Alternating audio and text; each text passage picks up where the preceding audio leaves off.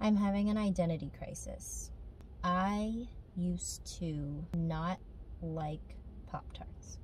Maybe the s'mores one because it was kind of like eating a brownie, but I was not a fan of the fruit flavored Pop Tarts like cherry or strawberry. But now I kind of like the strawberry one.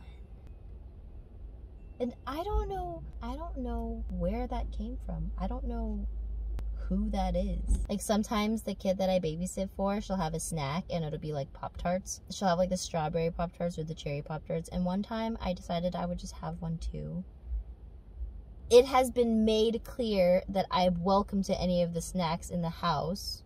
In case anyone thinks I'm just stealing snacks under the guise of sticking it to somebody, but it's been welcome. I am allowed to have these snacks. So yeah, I don't know if I'm just like really enjoying these Pop Tarts because someone else bought them. but I like the strawberry Pop Tarts now. Maybe I will slowly change into a better person.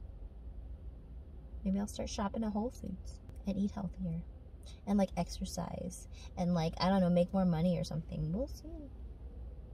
Take it till you make it. But yeah, now I'm really digging the strawberry Pop Tarts, and that is new. That was never a thing. Although, it could just be because there's somebody else's Pop Tarts. There's something about eating somebody else's food that is just tasty.